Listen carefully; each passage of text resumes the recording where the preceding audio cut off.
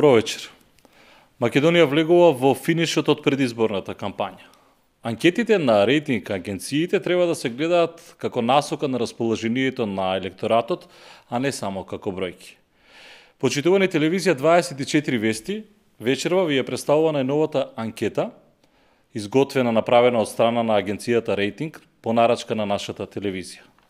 Примерокот е 1200 испитаници, стратификуван со репрезентативен опфат на сите етнички заедници, урбани и рурални средини и изборни единици. Периодот на анкетирање од 24 до 30 ноември. Велам добро вечер во студиото за Никола Спасов од агенцијата Рейтинг. Добро вечер, благодарам на поканата. Јавноста со нетрпение ги очекува резултатите за тоа какво е расположението во јавноста, особено за тоа како изгледа сега судирот помеѓу двете најспротиставени страни во македонскиот политички кампус, ВМРО ДПМН и СДСМ. А, меѓутоа, сака малку околу методологијата на почетокот. Теренска анкета? Да.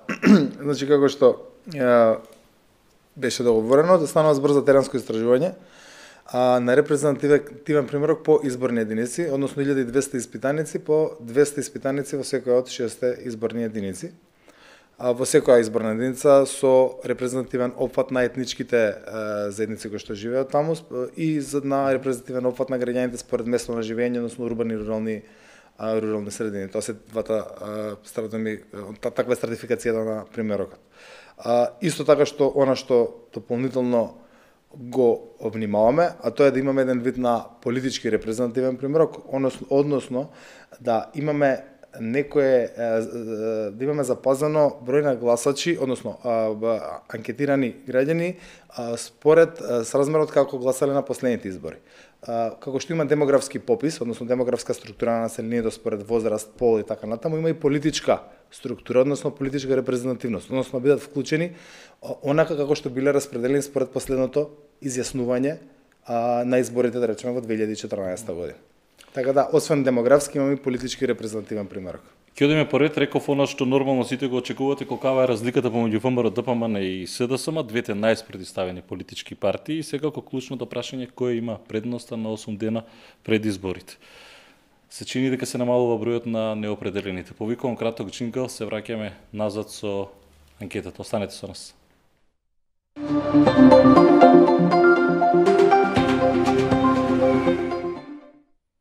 Спасов може да одиме поред. Кој според вас е најважниот проблем со кој моментално се соочува нашата земја? Јас во моментот ќе го повикам и слайдот еден, за да може да видат и гледачите за што станува збор, а јас и Спасов ќе го коментираме. Ова е стандардно прашање кое што секогаш го поставуваме сите истражувачки агенции, бидејќи ова е практично по ова прашање се дефинираат изборните кампањи, mm -hmm. пораките и така натаму и целокупната стратегија на партиите. Од она што гледам нема некои значајни промени во однос на проблемите на граѓаните, тоа е очекувано бидејќи тоа се кога збориме за еден најбитен проблем, секогаш се првите две се економски теми, односно невработеноста и ниските плати животниот стандард, што се секојаш околу главен проблем за 60% од населението. Потоа следи корупција и криминалот, високите трошоци за живење што повторно е а, и така натаму а, економска тема, што значи вкупно речи се 70% од граѓаните се определуваат за некои од економските проблеми и следи она што е нешто поново, би рекол, а тоа е, е лошите исолувањето заради лошите услови е реално проблем кој што во последниве, да речеме, година дена се појава се повеќе и повеќе во, во а, анкетите, бидејќи стана една тема која што се повеќе и повеќе се зборува во јавност. Така да, во, во основа, ако разговараме дали ова нешто има нешто ново, би рекол дека е прилично стандардна, стандардни одговори на ова прашање, каде што доминираат економските проблеми. Иако 32% невработеност го сметаат како најважен проблем во земјата. Изминативе две недели кампања, бидејќи денеска финишираме со практично со втората недела од кампањата, иако станови и викендов, се наметнуваше федерализацијата како тема, не ја ни приметува. Освен меѓуетнички проблеми и тензии, тоа е многу долу ниско. Да. Значи, федерализацијата не е прво тема. Значи, овде кој е најважниот проблем, тој не е проблем, бидејќи тоа се уште е до, само што почна за тоа да се дебатира. Мислам дека тоа е тема која што ја наметна а, кампањата на ВМРО ДПМН, која, со која што влезе, која што ја наметна како главна тема во кампањата, но во никој случај предходно тоа не било проблем. За прв пат за федерализацијата слушнавме пред само две недели дека Так. воопшто нешто наводно се планирало или дека некој планирал тоа да го прави или дека имало заговори за тоа. Кога граѓаните ги прашувате кој е вашиот проблем, сигурно нема да избија на прво место, нити пак да се спомне, ако евентуално е ситно спомнат во делот нешто друго како како проблем, меѓутоа тука се групирани проблеми, многу ситни проблеми и така натаму. А, значи, де факто тоа не е проблем, тоа е само тема, односно која или, или би рекол а, стратегија една со која што ВМРО да помене настапи во во оваа кампања и се обида да го наметнува како дискурс. Така што а, кога зборуваме за клучни проблеми кои што ги мачат граѓаните, федерализацијата не може да биде проблем бидејќи таа се уште не не е нити на, на тема на дискусија, нити пак реално мислам дека и не постои како како дискурс освен последните две недели. Добра, така да тоа тоа воопшто не не не дури, треба да дури чуди. и спорото со името за Грција. 2% сметаат дека е може би најважниот проблем. За жал, Што а, во неколку, ако се вратиме на назад неколку изборни циклуси, особено 2008 година, тој чинам дека беше најсуштинскиот проблем. Да.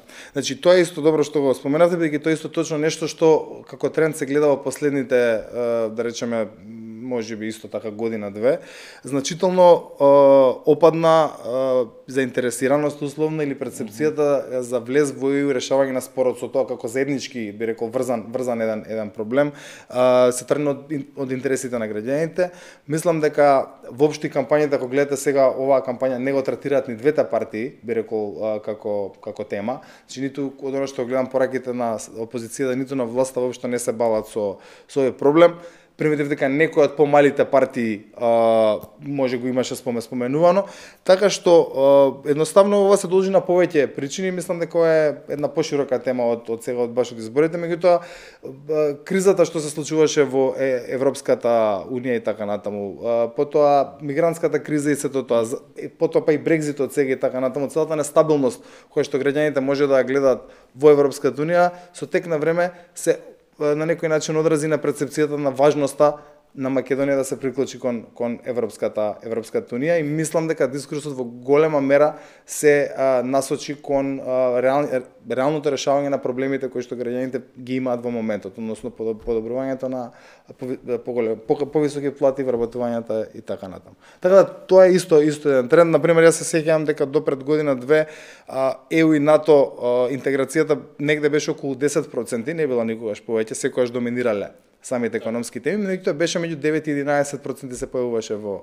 во анкетите. Сега гледам кам заеднички а, интеграцијата и спорот имаат околу 3,7 што е Да. значителен пат И во однос на интерес. името е 2 блокирани ЕУ и НАТО интеграција е 1 за И јас го јас го третирам тоа како како заеднички заеднички mm -hmm. проблем, реално кој што е врзан едно со друго, така што вкупно на прашање од блокирање на ЕУ, односно решавање на спорот и, и, и започнување на преговори со ЕУ е три заприка нешто, што е што е вистински малку и мислам дека водејќи се од, од овие резултати и самите партии одлучија да не го а, третираат тоа како една од главните теми и пораки во во кампањата. Го сумирам јас првото прашање, кој според вас најважниот проблем со кој моментално се соочува нашата земја, невработеност 32% од луѓето сметат ниски плати и животен стандард 24,3% од испитаниците, корупцијата и криминалот 6%.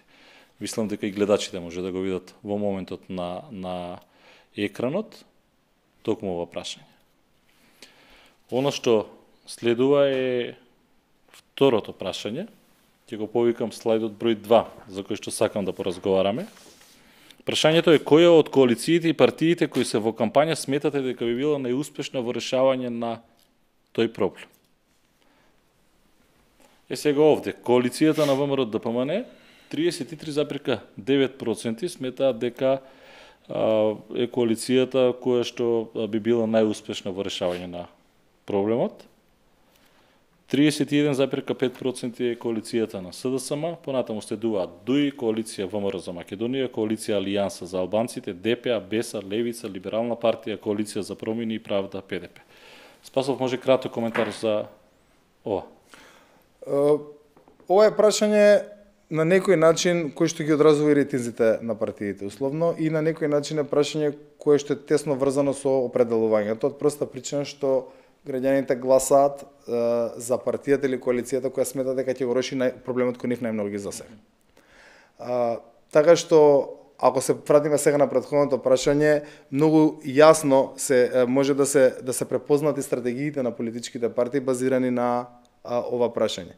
ВМРО зборува пред се условно за невработеноста и така натаму отварање на нови работни места покрај другите теми, меѓутоа е една тема на која што со години назад ја темелеше својата кампања, додека СДСМ оди со а, пораките кои што се пред се и, и мерки и стратегии во насока на подобрување и покачување на животниот стандард, односно платите, односно намалување на на трошоците. Така што во, во оваа смисла ова прашање представува еден вид на тоа колку спрема самите проблеми колку од којот партиите успеало да достигне до до до граѓаните и мојот мојата перцепција е дека имам една релативно изедначена трка ако се суди а, некој сооднос по однос на ова прашање што во минатото се покажало како како битен и точен индикатор за изборното расположение. А, имаме релативно изедначена со некој со, со 2,5% предност кај ВМРО ДПМН во однос на решавањето на клучните проблеми.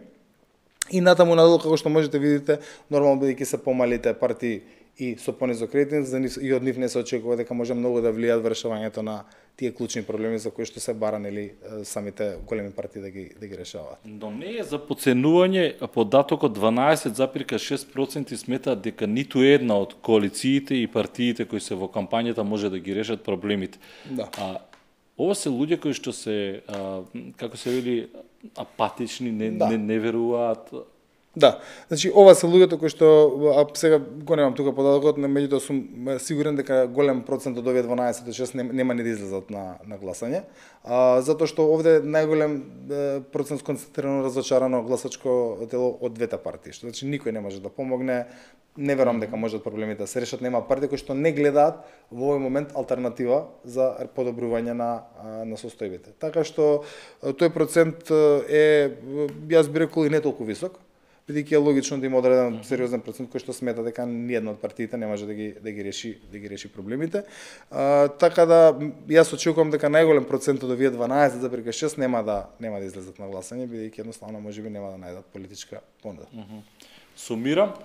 Која од коалициите и партиите кои се во кампања сметате дека би била најуспешна во решавање на проблеми? 33,9% на тој проблем. на тој проблем. Значи да. на, на вашиот проблемот за да би прецизирам. Проблем, да, да, на оној да, кој што смета дека е најголем, да. кој нај, најуспешно би го би го решила 33,9% сметаат коалиција на ВМРО ДПМН, 31,5% коалиција СДСМ, дуи 6,5%, 4,3% од испитаниците сметаат коалиција ВМРО за Македонија, коалиција Алијанса за албанците 2,5%, ДПА 2,4%, БЕСА 2,3% се враќаме во студиото ние. Е сега ова ми е интересен следниот слайд. Повикам слайд број 3, со кој што мислам дека можеме да прокоментираме со Спасов. Дали влада предводена од СДСМ или влада предводена од ВМРО ДПМН сметате дека може поуспешно да обезбеди повеќе вработување, повисоки плати и приходи во семејства, правда и владење на право, намалување на исилувањето, смалување на големите социјални разлики. Овие теми околу наметнувањето на, на, на овие теми. 37,2% од испитаниците сметаат дека повеќе вработување поуспешно може да обезбеди коалиција предводена од ВМРО ДПМН, uh -huh. а СДСМ 34,3%. Кај повисоки плати и приходи во семејствата, 36,3% од испитаниците сметаат дека поуспешно може да обезбеди коалиција предводена од СДСМ, а 32% коалиција предводена од ВМРО ДПМН. Да. Сакам коментар. А, па јас мислам дека ако го гледате ова прашање, прво многу јасно се отсликува а, реакцијата и рефлексијата на кампањата на двете најголеми mm -hmm. партии. Како што баш пред малку кажав, во, во овој момент во оваа кампања СДСМ и коалицијата се имаат фокусирано на две клучни пораки, а тоа е повисоки плати и подобар животен животен стандард. Значи тоа е пораката главна која што испраќа кампањата на СДСМ. И тука, ако се гледа така, јасно е дека во голема мера е препознаено нешто повеќе дека тоа може да го направи СДСМ отколку што може да го направи ВМРО да ДПМН. Од друга страна, ВМРО да ДПМН не само сега, него и целиот свој политички успех во минатото го темели на пораката ние вработуваме. Македонија вработува, ние вработуваме странски инвестиции и така натаму. Што значи дека од, од, од таа страна поголем процент од граѓаните смета дека околу баш обезбедување на работни места може да направи подобра работа ВМРО да помане. И според ова јас би прокоментирал дека во споредба со минатото бидејќи овој тип на прашања ние ги следиме, би рекол дека СДСМ има направено добра работа со тоа што конечно ја структурираш и ја ја стегна пораката околу mm -hmm. околу прашањето на повисоки плати и подобар квалитет на живот бидејќи според истражувањето тоа конечно и се рефлектира и препознава. Ќе видиме колку и како на крај ќе се одрази во вкупниот глас ова ова состојба сега, но факт е дека во однос на петте клучни пораки веќе имаме значителни се препознаваат практично и ставовите и пораките, петте клучни проблеми се препознаваат и практично влијанијата од самите кампањи и пораки на на политичките партии. Така што ако одиме криминал и владење на право, Е, ова сакав. Правда и владење на право, намалување да. на иселување, смалување на големи социјални разлики. Овде е поприлично голема разликата дека поуспешно може да го обезбеди ова коалицијата на СДСМ наспроти коалицијата на ВМРО. Да. Значи и ова исто така воопшто не чуди. Значи третата третиот проблем тоа е криминалот, односно владењето на право, бидејќи ако добро ги следевме пред, предизборните периоди, така натаму сето она што се случуваше со политичките бомби, разоткривање на многу потенцијален криминал од страна на власти и така натаму, мислам дека е апсолутно очекуван, очекуван резултат, дека поголем дел од граѓаните смета дека на некој начин може да биде помалку инкриминиран, односно може да обезбеди повеќе а, правда во оваа земја а, опозицијата во овој момент, додека за власта во голема мера се докаже или покаже дека била склона или вршала одредени криминални криминални mm Така што мене тоа воопшто воопшто исто така не ме не ме чуди како податок, напротив ми е многу Разликава. многу очекувано. На пример правда и владење на право 38,8% наспроти 28,3. Да намалување на иселувањето 35,5 наспроти 27,7. Да. Смалување на големи социјални разлики 36,5% наспроти 29,7. Ова е веројатно имплицирано од политичките програми, од кампањата која што ја Апсолутно. Значи јас сум многу сигурен дека, дека ако и, мислам и верувам дека некој друг што ги работи овие анализи, а погледна оваа анализа, во нејзе точно се препознаваат пораките на едните и на другите. Значи во на, освен првата тема за вработување која што би рекол дека е природно поблиска до ВМРО е тема која што најмногу има обработено во ВМРО и на која што како што кажав претходно ја засноваше својата политичка и комуникацијска стратегија, останатите четири теми се теми кои што се блиски до опозицијата, односно владењето криминалот и владењето на правото, повисоките плати кои што се сега една од клучните, нели имаат средна просечна плата 30.000 минимална, минимална и така натаму, намалувањето на иселувањето за живот во Македонија, самата кампања, слоганот на кампањата во себе содржи реално порака која што е кон практично критика кон иселувањето, значи за живот за да се остане тука и социјалните разлики кои исто така една тема, а тоа е зголемување на подобрување на животот на оние кои што се од најранливите слои. Значи апсолутно мислам дека гледајќи ја гледајќи ја структурата на на одговорите дека се препознава дека овие четири теми сметам дека се по моментално обработени и по комуницирани од страна на опозицијата, односно се има значително поголем број на а, пораки и мерки би рекол во, во овој дел, додека вработувањата пак се нешто со што се со што е се попрепознатливи а, ВМРО да помане. Така што мислам дека дека баш се можеме да кажеме би рекол дека мојот заклучок е дека функционира во голема мера и добро се одразува самата кампања на опозицијата и пораките кои што ги има ги има пласирано бидејќи опфаќаат повеќе горливи теми иако вработувањата се тема се уште број 1 меѓутоа останатите 4-5 следни а, проблеми по важност се до прилично подобро да речеме комуницирани и од страна на опозицијата. И сега ако сумирам од она што беше кој е според вас најважниот проблем невработеноста, веројатно овде да. го гледаме и можеби одговорот.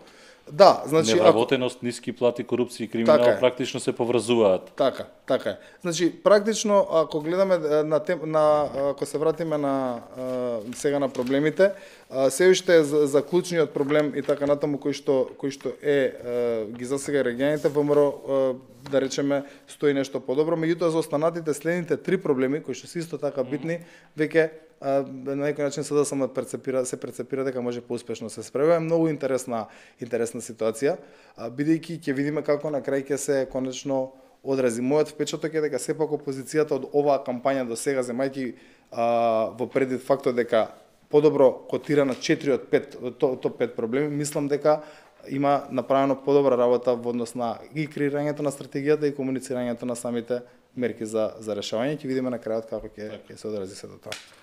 Мислам дека може да одиме на Кајрон број, односно Телоп број 4. Прашањето е дали со програмите на следните партии сте добро запознаени, делумно запознаени, делумно незапознаени или воопшто не сте запознаени. 28,3% велат дека се, а, сега ако не се лажам, Добро запознаени. добро запознаени. 28,6% говорам за коалицијата на ВМРО, за програмата на ВМРО да помене, 28,6% делумно запознаени, 9,4% и ги гледаат а, гледачеве на на кајроните се Делумно незапознаени и делумно 31% се во воопшто не се не се запознаени. Да. Кај опозицијата, можам јас да ти Да. помогнам. Се- Кај опозицијата 26,3% се целосно запознаени, односно добро запознаени, делумно запознаени, уште 32,3, не мора да ги читаме останатите. А, ова е многу интересен податок од од, ед, од, еден, од една причина што мислам дека е важно да се да се каже. А, една од клучните напади на на ВМРО ДПМН кон опозицијата во целиот изминат период и на сите да речеме претходни изборни циклуси тоа дека опозицијата немаше нема Нема програм, програм. нема програм. И а, од она што можам да го видам во ова прашање е е тоа дека сега веќе не е прашање дали има програма и дали не се запознаени со програмата на опозицијата или нема и така натаму, него веќе се доведува прашање фактички дека постои еднаква запознаеност или перцепција за постоење созна, сознаеност за, за постоење на таа програма и кај опозицијата. А, јас се сеќавам на некои постари истражувања каде што еден од главните причини беше што смета дека е најголема слабост на опозицијата, опозицијата нема програма. И тоа беше се појавува и во фокус групи, се појавува во друг тип на истражувања. Мислам дека со интензивна програмска комуникација која што ја наметна опозицијата во оваа кампања, а, каде што гледам дека најголем дел од целата стратегија медиумска и така натаму се е комуницирање на мерки, гледам дека и по аудиорекламирањето има мерки по самите а, билборди и така натаму со наметнување на дискурсот за за повисока плата, успеа да е, го промени, да смени таа перцепција дека опозицијата нема програма и дека не само што има, него гледаме дека според ова дека и граѓаните се релативно добро запознаени, односно речиси идентично запознаени како што се со со а, програмата на ВМРО да помане. Така да мислам дека еден мит, односно една негативна а, перцепција или еден негативен имидж кој што го имаше опозицијата во оваа кампања Да, успеа ВМРО да помене да, ја наметне таа тема, па дури граѓаните бара дури и рокови. ВМРО да помене додеше своевремено на назад вракајќи се со изборни ци- циклуси, предвидуваме ова и ова рок на изградба, рок Да, на, на да. употреба, што ја знам. Да, мислам, мислам дека јас и ми се ми се допадна тоа што опозицијата имаше една друга, а, е, ако се сеќам во предизборието, а тоа беше една кампања за градење на таа програма. И целата таа стратегија прво градење, па тие средби со граѓани, па пишување и така натаму заедничко, мислам дека успеа конечно да проби да се наметне како како сега една друга вистина дека опозицијата има програма и сега можеме да видиме што е таа програма на опозицијата и што е таа програма на ВМРО ДПМН. И дури што го примети во последните неколку дена, баш го гледав пред вице-премиерот Пешевски и така натаму, веќе што никогаш порано не го правело ВМРО ДПМН, се влегува во дебата дали се можни, дали се остварливи мерките на опозицијата. Да, Што е во многу, да, што е период, многу да. интересно, што е многу интересно бидејќи претходно никогаш тоа не било ни ни предмет на дискусија и тоа е многу добро еднаш да речеме за опозицијата е добро бидејќи конечно се дебатира на мерките кои што таа ги предлага и таа Да, таа се приметува и примет- во се- енергетските проекти, и, и во енергетските и така натаму. И сега конечно веќе имаме една програмска дебата што го сметам многу здраво за за оваа кампања, иако за жал она што го спомнав на почетокот изненадувачки за мене ја, ја, наметна ВМРО да помене федерализацијата како проблем, веројатно сметајќи дека со негативната кампања ќе ќе направи повеќе отколку со позитивната. Но имам чувство дека сега паралелно се враќаат малку и на и на програмските мерки, така што од ова од, од ова од овој е, графикон можеме да видиме дека станува збор за едно подобрување на позицијата на СДСМ и коалицијата во однос на прашање за програмата. Дали постои и како таа ќе функционира. Кој што гледаме дека во однос на мерките предходно клучните проблеми исто така се релативно добро позиционирани, така да го кажу дека програмски целот целот програмски дел на опозицијата е значително подобрен во однос на минатите избори. Кореспондираат и овие и со предходното прашање, бидејќи ако веќе ги виделе луѓето програмите, нормално е темите да, да фигурираат. Да, предпоставувам да, предпоставувам да, во до овој момент го немав размислено, меѓутоа предпоставувам да и мислам дека дека меѓу другото и и тоа е една од релевантните компарации. Она што е битно е што, што исто мислам дека се одразува дека конечно опозицијата почна да дебатира и да и да нуди решение на вистински проблеми на на граѓаните. И наметнува како и сериозни да ги наметнува како да. сериозни а, а да ги наметнува прво да ги да го покачува проблемот на ниво на видливост, а потоа и да, и да, и да нуди решенија. Тоа го немаше. Ако се сеќавате и во 2011, и во 2014, 2011 беше ЕУ и НАТО не е таа тема очигледно кој тогаш даде даде резултат. 2014 беше една конфузна конфузна година беше само што дојде на новото раководство. Така што ако искрено сметам дека во голема мера се има консолидирано пораката и стратегијата на опозицијата околу тоа како ќе тие ќе се диференцираат од пораките и стратегиите на власта. Они збор, ВМРО зборува за вработување, ние зборуваме за повисоки плати. Тие зборуваат за федерализација, ние зборуваме за сузбивање на криминал. Така што мислам дека сега веќе има една јасна поделба дистинкција што нуди во кој дел нуди економски поготово зборувам. Нуди опозицијата, што економски нуди Што некако изминати изборни циклуси не го гледав. Дефинитивно го немаш. Дефинитивно го немаш. А, режија слайд број 5. Дали работата на специјалното јавно обвинителство вие целосно ја подржувате, главно ја подржувате, главно не ја подржувате или воопшто не ја подржувате? 55,2% ја подржува. Односно целосно и главно комбинирано. Така. Да. Е сега, ова е а, веројатно очекуван резултат. Или? Па ние сме го поставувале ова прашање во од кога е формирано специјалното јавно обвинителство повеќе пати и од прилика поддршката би рекол дека стои фиксна. Значи меѓу 55 и 60% варира поддршката за специјалното јавно обвинителство. Кои ја поддржуваат и целосно ја поддржуваат? Да, тоа е целосно mm -hmm. ја поддржуваат, ја поддржуваат, значи ги групираме двата двата одговори, оние кои што се нели силни силни поддржувачи, делумни поддржувачи и така, така. натаму. А, она што е, е тука добро е тоа што би рекол дека 38% од граѓаните целосно ја поддржуваат наспроти 24% од граѓаните кои што воопшто не го поддржуваат. Во овие анализи некојаш се важни екстремите, значи за да се види кој е вистинското поддржувачко односно вистинското тело кое што поддржува одредени политики или во овој случај СЈО и тука е речеси двојна, ако и повеќе од, односно 50-60% има повеќе до нешто цврсто сакаат правда, односно сакаат СЈО да ја заврши таа работа.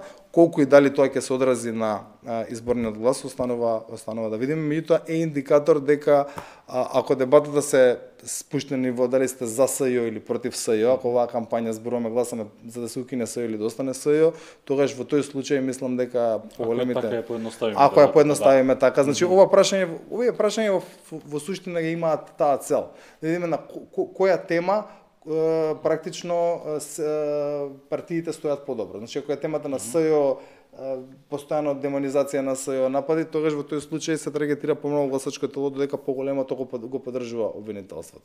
Така да таа е тема по опозицијска би рекол и со ова се укажува дека поголем дел од граѓаните се на, на страната на комуникацијата на опозицијата да. во однос на, на оваа тема. 55,2% ја поддржуваат, 38,1% целосно ја поддржуваат работата на специјалното јавно обвинителство, 33,1% не ја поддржуваат.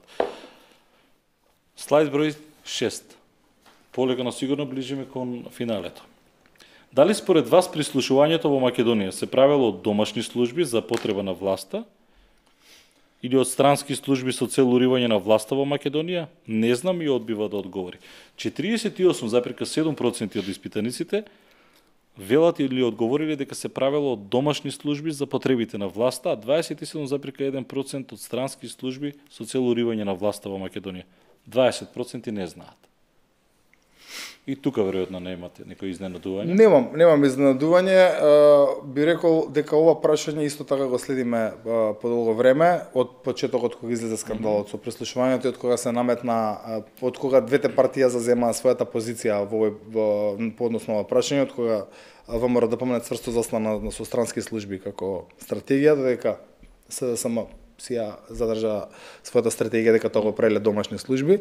И она што го имам што може да се забележи дека по објавувањето конечно на и на СЈО и така надолу по разоткривањето полека од одмотувањето на на оваа приказна околу прислушувањето е зголемен процентот на оние кои што веруваат дека пред се домашните служби го правеле тоа за потребите на власта наспроти оние кои што го веруваат повеќе веруваат во ставот кој што го застапува во МРОД да помане. Ова можеме да го доведеме во контекст со предходното со работата на специјалното јавно Можеме, можеме бидејќи ако ги видиме двете двете двете прашања апсолутно апсолутно само да го најдам тој лист, апсолутно да, е, може да се каже дека дека не се не, не се многу различни, значи соодносот е поприлично 48 со 27 на 55 со 33 mm -hmm. соодносот реално меѓу меѓу оние кои што се за и против е многу идентичен. Така што би рекол дека има една една според овие две прашања има една еден, еден контингент од 50%, односно 50% од полнолетното население по однос на двете клучни теми кои што беа прислушкувањето, СЈО и целата криза,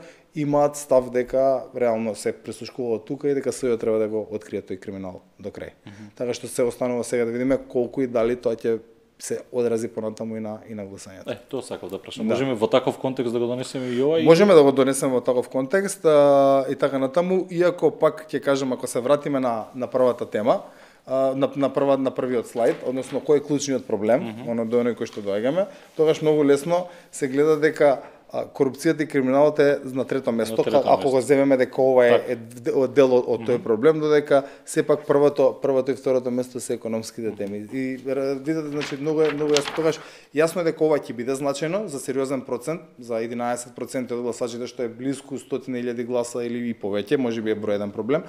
Меѓутоа за поголемиот дел од, од гласачите сепак се уште а, се целата целиот нив избор се темели на тоа дали тие може да го подобрат собствениот живот.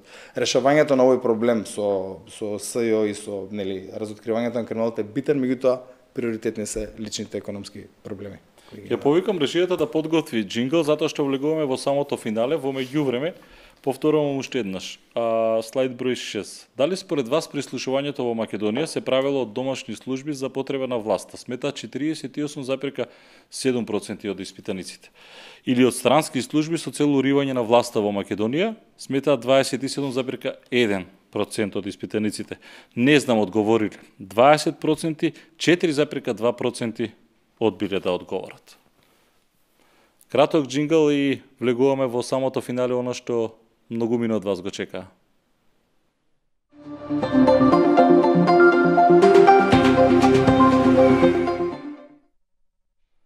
Оно што многумина Спасов го очекува од јавноста, тоа е клучното прашање. Колкава е разликата помеѓу ВМРО, ДПМН и СДСМ, двете најспротиставени политички партии, клучното прашање е има предност. Анкетата која што ја нарача 24 вести ја изработи агенцијата рейтинг, на пример од 1200 испитаници, ко покажува следново. Режеве молам. Намерно оставам, не коментирам. За која партија најверојатно ќе гласате на 11 октомври? Коалиција на ВМРО ДПМН, декември, пардон. Коалиција на ВМРО ДПМН 29,9%, коалиција на СДСМ 28,5%.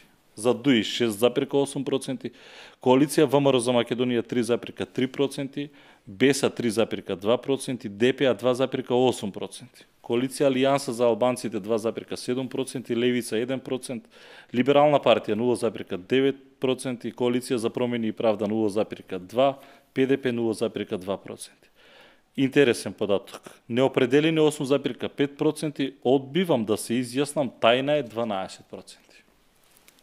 Пред да почнам да го е, коментирам рейтингот на партиите, да мислам дека е добро да кажеме и околу малку методологијата за правење на тој рейтинг. Значи, ова анкета е направена по метод лице в лице, а, во домовите на граѓаните, каде што се користеше техниката на тајно гласање, односно, сите прашања кои што се врзани со рейтинзите, граѓаните сами или ако имале потреба со помош на член од домаќинството ги заокружуваа сами, односно добиваа ливче, класично гласачко ливче на кое што самите одбира за кого ќе гласаат, го пакуваа тој тој одговор во коверт и ковертите ги става во класична гласачка кутија која што анкетарите ја носеа со со себе.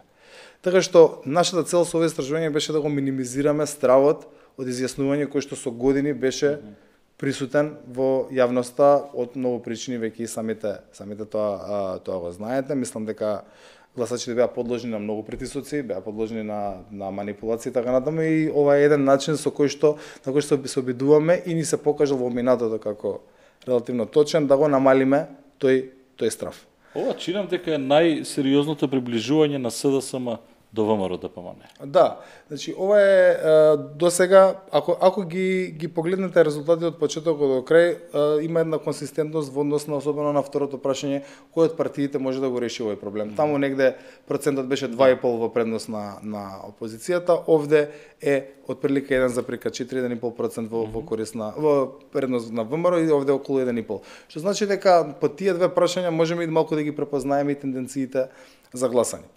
Значи, овие избори а, мора да ги гледаме како едни од нај а, да речам тешките за предвидување и најразлични од изборите кои што сме ги имале барем во последно време. А, прво, ова го кажувам затоа што за прв пат има барем шест партии кои што претендираат за мандат во, во собранието и мојата проценка, иако од овде немаме од оваа анкета мандати, mm -hmm. а бидејќи имаме релативно мал број по изборни единици, што значи ќе го дискутираме само можниот генерален исход на, на процентите. Меѓутоа, има барем шест партии кои што претендираат за, за е, пар, парламентарни места. Што значи дека е, се случува голема промена во албанскиот глас, кој што на овие избори за прв пат ќе се подели на четири партии, наместо предходно кога што се делеше пред се на две, и исто така има тенденција дел од албанскиот глас да, како што го видовме во некои од анкетите, да гласа и за и за опозиција. Тоа сакав да прашам. Дел од, од албанскиот гласачки електорат во неколку анкети се појавува дека влегува кај македонскиот политички кампус. Да, се појавува тоа, значи видовме и од некои анкети кои што се објавија и во Веројатно и ова е замката на предходниот, самиот предходниот период. Ќе видиме дали е тоа замка или или е тоа нешто што ствари ќе може да да, да влие позитивно или негативно. Значи, она за тоа кажувам, бидејќи ние до сега нема сме немале ваква ситуација и имаме две нови да речеме релативно добро позиционирани политички сили во албанскиот блок, а тоа е пред се алијансата на се, на села и Беса.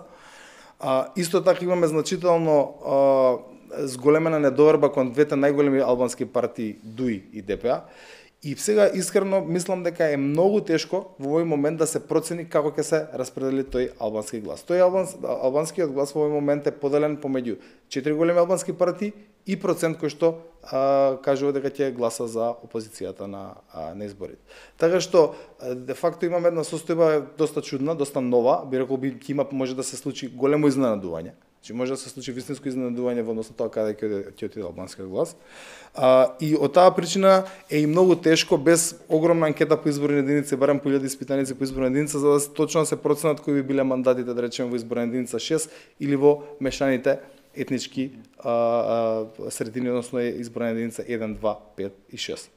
А, така да тоа е една новина која што имаме во во оваа кампања и која што малку од кој од колегите и од другите аналитичари се се осудува да точно да ја да ја да ја прогнозира бидејќи е вистинска една голема неизвестност и она што мислам дека зашто оваа анкета е поразлична односно од останатите кои што ги видовме тоа дека овде имаме значително поголем процент на откриени гласачи. Ако гледате и самите проценти се повисоки 29 на, на, на, определеноста е, е далеку повисока. Фактот дека и се ближиме до изборите е едниот, меѓутоа исто така и можноста тајно да се да се одговори, односно да се гласа е втора втора причина за тоа што немаме толкав голем процент на веќе неопределени искрени гласачи како што нормално излегуваат по 30 или 35%. Така што ова е тенденција, овие резултати покажуваат дека можеме да имаме многу неизвестна трака, а, фер е да се каже тука дека ова анкета има статистичка грешка од да го плюс, кажам, не го од споменав плюс минус почетокот. 3,1%, што значи дека сите овие резултати може да да се изместат во рамки на оваа статистичка Поголемо грешка. изненадување од ова не може да се очекува. Прашувам затоа што многу од анкетиве, значи не само кај нас, еве ако сакате да тргнете и во Англија и во и во Америка доживеа на пример тотален пресврт реално кога излегоа на крајот резултатите. Да, значи јас тоа е една уште поширока тема. Истражувањата и во светот на некој начин беа во криза во изминатиот период, бидејќи не успеа да се да се прилагодат на трендовите и можеби методологиите на промената која што е направена во електоратот. Имавме големи грешки во Бугарија, во Хрватска, во Србија, во Англија, во Америка и така натаму. Сите они избори кои што сме ги следеле, реално анкетите промашија. Така што ќе видиме дали тој тренд ќе се покажи и во Македонија, можно е и така натаму, можно најголем просекот на анкетите покажува едно да излезе нешто сосема друго. Мене овие податоци ми, ми укажуваат на тоа дека ќе имаме ќе имаме поприлично тесна те, те, тесен исход. Како ова може да се смени ќе останува да видиме, меѓутоа факт е дека постои големо опозицијско расположение. Значи и по предходните резултати и по анализата на самите а, пораки и односно е, ефективноста на пораките на опозицијата и на власта се приметува дека може да се да се гледа дека има има промени. Голем дел од електоратот покажува тенденција, опозицијска тенденција и тенденција за промени. Меѓутоа на крајот одлучува гласот на на 11 Така. кој што ќе биде таков каков што ќе биде и мислам дека ќе ќе бидеме сведоци на доста доста тесна. Горе доле ако не се лажам, чинам дека и партиите ги имаат и и едните и другите си ги имаат од прилика овие овие резултати, а затоа што сакам да прашам, очекуваш следнава недела кога финишира практично кампањата да имаме побрутална црна негативна кампања или ќе тераат партиите во овој ајде ако можам така да кажам, можеби позитивистички дух за кој што позитивистички дух во смисла на тоа она што е реален проблем, да. економски проблем на граѓаните. А, па, јас мислам дека од она што го следам, нема некои драстични поместувања во иници, иницијалната стратегија, барем не до сега. Мислам дека од понеделник може да има мала промена. А, а, верувам дека ВМРО ДПН ќе обстои на, на пораката на федерализација, бидејќи тоа е со нешто што, што го почна. Нивната стратегија е со тоа да го намалат македонскиот глас кај СДСМ со цел да дури ако се направи некоја компензација од албанскиот глас да не биде тоа тоа многу голема, предпоставувам дека колку ќе меѓутоа тоа исто така ги држи прилично на страна од нивната клучна порака, тоа е вработување и така натаму. Така. А додека СДСМ мислам дека ќе истера стратегијата до крај со позитивната кампања бидејќи очигледно спред овие истражувања дава по полека почнува таа позитивна кампања да дава резултати и прави некои промени кај гласачката. Кратко само не ја споменав диаспората ќе имаме 123 пратеници или ќе имаме помалку. Јас од оно што го видов мислам дека повеќе од еден пратеник нема да има. А меѓутоа за да има два пратеника би требало ви- вистински максимално да биде да бидат сите излезени од што се запишани и да гласат баш за да речеме една партија. Така што верувам дека до еден еден пратеник е реално се очекува од од диаспората. А, реши е уште еднаш последниот телоп пред да му се заблагодарам на Спасов. За која партија најверојатно ќе гласате на 11 декември? Коалиција на ВМРО ДПМН е 29,9%.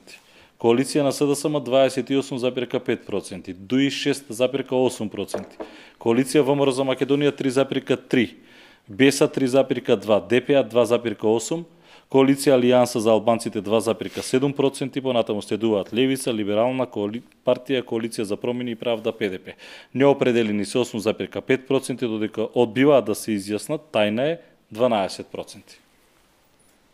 Ова е анкетата која што ја нарача телевизија 24 вести на примерок од 1200 испитаници, период на анкетирање од 24 до 30 ноември, она што јас го изумив го додаде Спасов, статистичка грешка плюс минус 3,1%. Да, Во рамки на општиот. во рамки на општиот примерок. Спасов, благодарам што Благодарам. дојде во студиото и ја разјаснивме анкетава. Благодарам, драго ми беше што имавме шанса вака да соработуваме. Вам почитувани ви благодарам што не гледате, следува дневникот. Останете со нас.